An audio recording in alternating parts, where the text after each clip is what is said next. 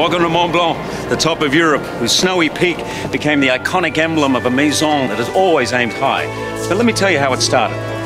In 1906, the three gentlemen, Eva Stein, Nehemias, and Voss, began to create the best fountain pens in the world. The mindset was like a contemporary startup. As true pioneers, they believed in the rewards of taking risks.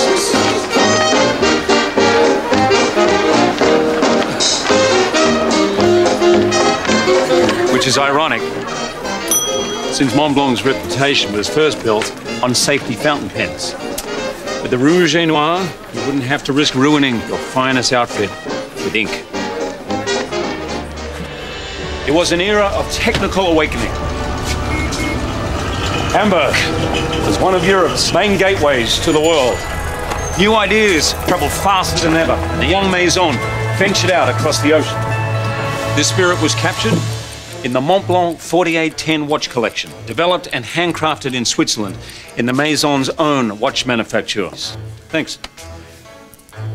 In 1924, the most celebrated writing instrument of all time was launched, the legendary Meisterstück. Soon, world leaders would use the Meisterstück to sign era-defining treaties, great writers to draft groundbreaking novels, and special agents to defeat their enemies. To this day, the Maison's collections are crafted to inspire those who lead the way. So, the world is ready for the pioneer in you.